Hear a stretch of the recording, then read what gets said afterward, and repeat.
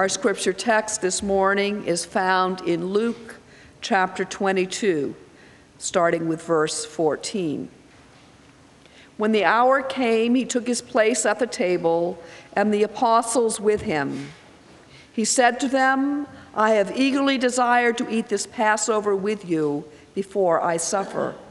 For I tell you, I will not eat it again until it is fulfilled in the kingdom of God. Then he took a cup, and after giving thanks, he said, Take this and divide it among yourselves. For I tell you that from now on I will not drink of the fruit of the vine until the kingdom of God comes. Then he took a loaf of bread and when he had given thanks, he broke it and gave it to them, saying, This is my body, which is given for you. Do this in remembrance of me. He did the same with the cup after supper, saying, This cup that is poured out for you is the new covenant in my blood. But see, the one who betrays me is with me, and his hand is on the table. For the Son of Man is going as has been determined, but woe to that one by whom he is betrayed. Then they began to ask one another which one of them it could be who would do this.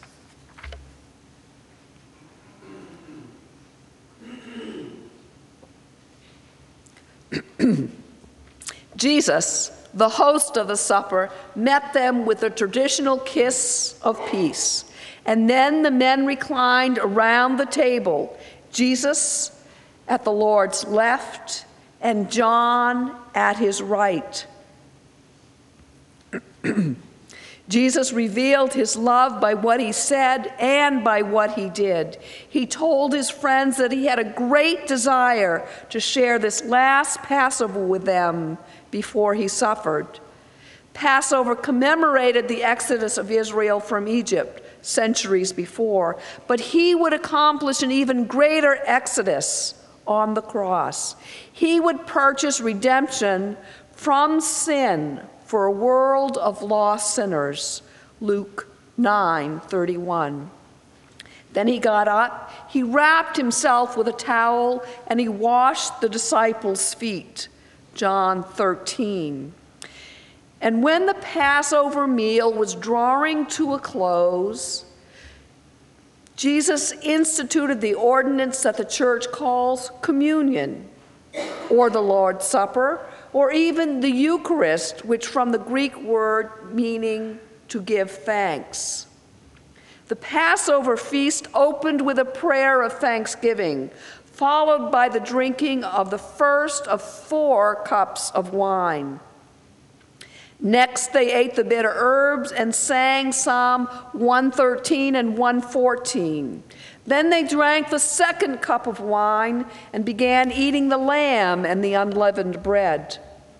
After drinking the third cup of wine, they sang Psalms 115 through 118, 118 that we read portions of this morning. And then the fourth cup was passed among them. It is likely that between the third and the fourth cups of wine, Jesus instituted the Lord's Supper. Paul gave the order of the supper in 1 Corinthians 11, verses 23 to 26. First, Jesus broke a piece from the unleavened loaf. He gave thanks and then he shared it with his disciples, saying that it represented his body, which was given for them. He then gave thanks for the cup and shared it, saying that it represented his blood. It was a simple observance that used the basic elements of a Jewish meal. Jesus sanctified the simple things of life and used them to convey profound, convey profound spiritual truths. Jesus stated one of the purposes for the supper in remembrance of me. It's a memorial feast to remind the believer that Jesus Christ gave his body and his blood for the redemption of the world. When we partake, we identify ourselves with his body and blood. A second purpose for the supper is the proclaiming of his death until he returns. The supper encourages us encourages us to look back with a love and adoration to what he did for us on the cross, and to look forward with hope and anticipation to his coming again. Since we must be careful not to come to the Lord's table with known sin in our lives, the supper should also be an occasion for looking within, examining our hearts, and confessing our sins. 1 Corinthians 11 27 through 32. A third blessing from the supper is the reminder of the unity of the church. We are one loaf. 1 Corinthians 10 17. It is the Lord's Supper. It is not the exclusive property of any Christian denomination. Whenever we share in the supper, we are identifying with Christians everywhere and are reminded of our obligation to keep the unity of the Spirit in the bond of peace. Ephesians 4 3.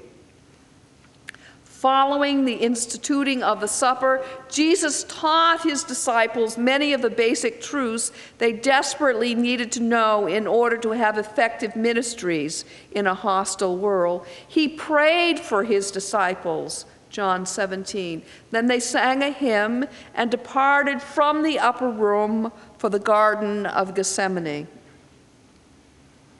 The night before his crucifixion, Christ is trying to communicate his deep love for all of us, illustrating it through the imagery of a Jewish wedding.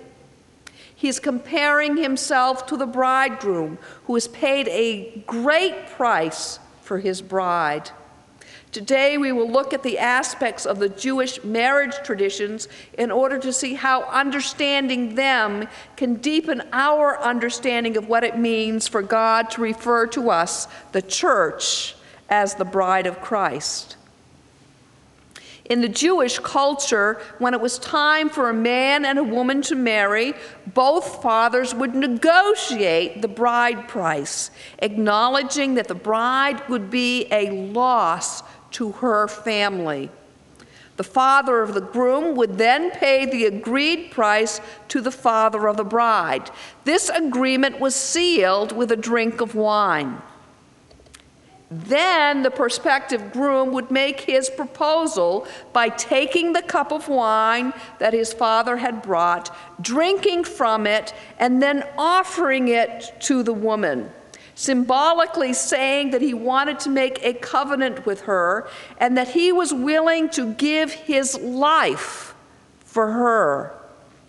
If the woman accepted the proposal, she would seal the engagement by drinking from the same glass. From that moment on, she would be referred to as one who had been bought with a price. Now, with that in mind, let's reread the account of the Last Supper in Luke 22, verses 19 and 20. He took the bread. When he had given thanks, he broke it, gave it to them, saying, This is my body, which is given for you. Do this in remembrance of me. And likewise the cup after they had eaten, saying, This cup that is poured out for you is the new covenant in my blood. During the Last Supper, Christ took the cup of wine in his hands and told his disciples, This cup is the new covenant in my blood, which is poured out for you. I'm sure that his disciples recognized the imagery of the marriage proposal the groom offering the cup to the one he hoped would become his future bride, symbolically saying that he wanted to make a covenant with her and that he would be willing to give his life for her. And as they accept the cup from Christ, the disciples are, in effect, sealing the engagement, signaling their acceptance of and their commitment to Christ.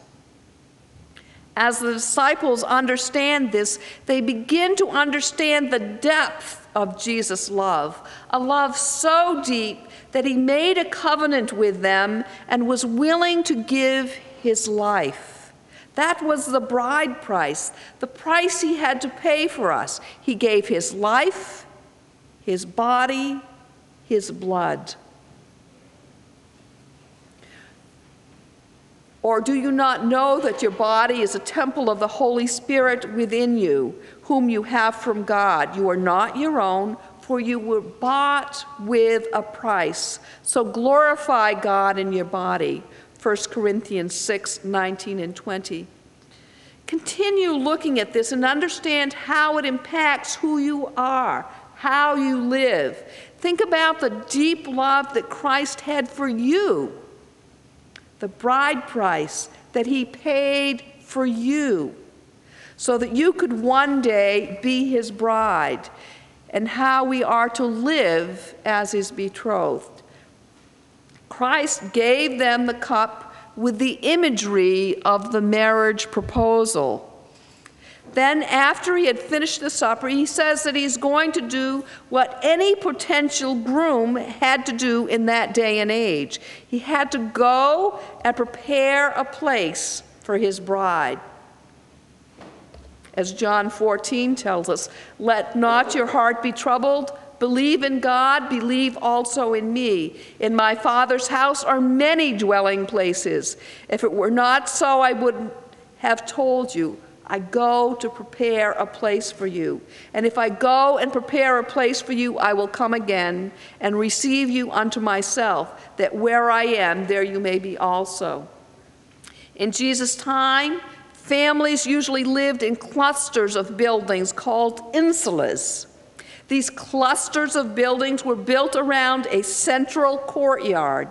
Grandparents, cousins, uncles, and aunts all lived together in one insula. So, as sons married, they added to the insula. After asking a woman to marry him, the son would return to his own village and build new rooms onto his father's home. The son waited for the day when his father would declare that the building was complete. He didn't decide himself, the father had to decide. Then he could finally marry his bride and bring her to their new home. That's the word picture that Jesus is representing in the verses that we read today. It's also the same word picture that Christ uses when he describes his second coming. But concerning that day and hour, no one knows, not even the angels of heaven, nor the Son, but the Father only. Matthew 24 36. So, as Christ, as the bridegroom, is preparing a place for us in the Father's insula, his home, a place where we, the church, as his bride, will one day live with him. While he's doing this, what are we supposed to do? Once again, we can learn from the Jewish custom of the day. While the groom was off preparing a place for the new couple, the bride prepared herself and her bridesmaids for the groom's return, not knowing when it would happen. During the time, the bride was expected to remain true to her groom as she prepared herself to be the kind of wife who would honor her husband. She would be learning from her mother so that she would be the best bride that she could be. And she lived in anticipation of his return, longing for the blast from the shofar announcing his return the trumpet sound that informed everyone that her groom had finally come for her. And as the bride of Christ, we too are to live for the day of his return, although, like the Jewish bride, we don't know when it will be. We are to live preparing ourselves for the day when he will return to take us to his Father's house. And as the bride of Christ, it is our responsibility to live in such a way that when people observe our lives, they know that we belong to Him. They know that our life commitment is to our bridegroom. We are to live our lives preparing ourselves for living forever in eternity with Him. We are to live in anticipation of his return, longing for the blast from the trumpet announcing his return, the sound that informs us that he has finally come. For the Lord himself would descend from heavens with a cry of command, and the voice of the archangel with the sound of the trumpet, and the dead in Christ will rise first. Then we who are alive, who are left, will be caught up together with them in the clouds to meet the Lord in the air. So we will always be with the Lord. 1 Thessalonians 4 16 and 17. Remember that you are the bride of Christ. You have been bought with a price, his blood. You have accepted his proposal. Come to him. Now you are his. Live your life in such a way that people may know that you are his, preparing for his coming, anxiously waiting for the day when he will return to take us to the home that he has prepared for us.